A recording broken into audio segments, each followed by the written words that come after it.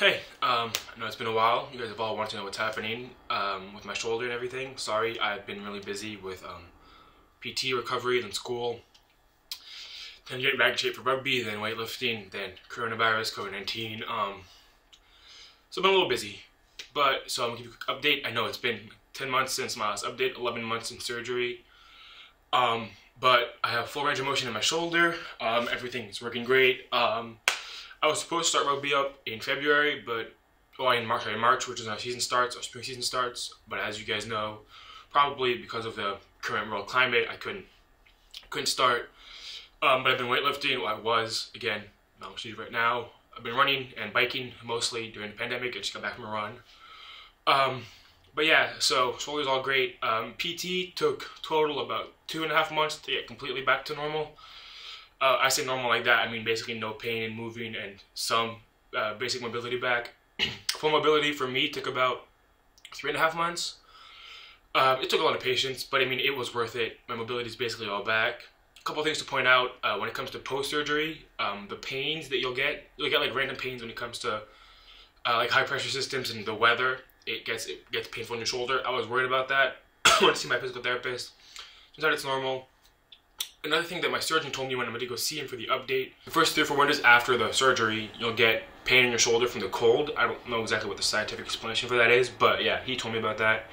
So if your shoulder hurts after for a while, it's okay. I mean, like I just found that when I wake up, it hurts, but when I get it warmed up and everything, it feels fine. So that's what he told me to do. Just a couple, a couple of rotation exercises. You feel like some weights, some resistance bands. Do a couple things of those before you start your day, um, and then yeah, you should be fine.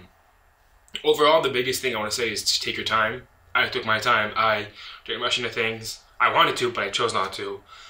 Um, lifting, take your time, do your PT. I mean, I use a lot of light weights. Um, just a lot of like small repetitions, light weights, going over it. Basically, until my shoulder hurt, like the muscles in my shoulder hurt, not the joints anymore. And slowly increased the weight. Um, eventually, I got back. I mean, so I also uh, powerlift. And since surgery, I've had my three best lifts of all time best squat, best deadlift, and best bench of all time were post surgery, just because I took more time um, to get back into it. Rugby wise, I mean, I know that I was terrified of going back to rugby. and again, I haven't gone back yet, but I do feel like I'm ready. Like physically, I know that my body can take it now. Um, also, like I use KT tape, like athletic trainer's tape on my shoulders. I guess more mental reassurance, really. Um, I wore that.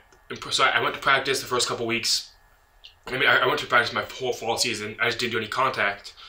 But for running, because running kind of hurt a little bit at the beginning, well, you know, while the shoulder wasn't stabilized fully by the muscles. For running, for passing, for basic any drills, I had the tape on just to stabilize a little bit, mostly for reassurance purposes.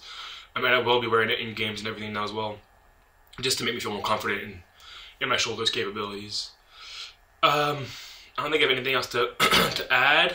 Um, yeah, overall, it's been a, a pretty good experience. I mean, and as you guys who've gotten it probably know, the first like month, two months kind of suck. But honestly, the recovery has been not as bad as I thought it was going to be, and overall, I'm pretty happy with how it's going. So yeah, thanks for watching, and sorry again for the late update.